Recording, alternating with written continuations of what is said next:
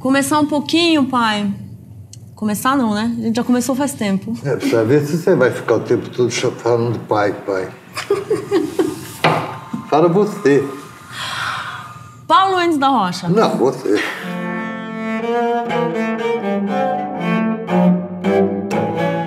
O que é muito interessante, que também se diz que é um objetivo da arquitetura, quando faz tudo isso, entretanto, o que pretende, não é cumprindo um programa de caráter funcional, digamos, cozinha, banheiro, quarto.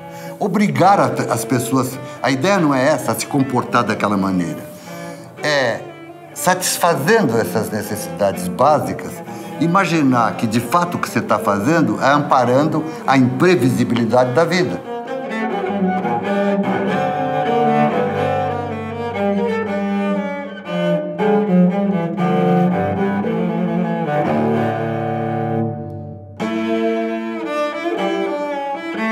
A questão aqui é o seguinte: uma cidade, é, antes de mais nada, é uma construção.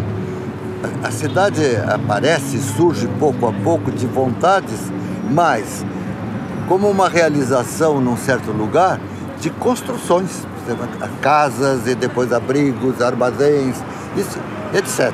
E essa ideia da piscina ter um buraco no meio? Uma piscina com buraco no meio vai esvaziar a piscina inteira, não é verdade? É. É. E ele foi feito justamente para isso. É ali que a água transborda e cai no andar de baixo. Portanto, você continua no espaço molhado. Você até perguntou como é que um faz uma casa diferente do outro. É que não é diferente.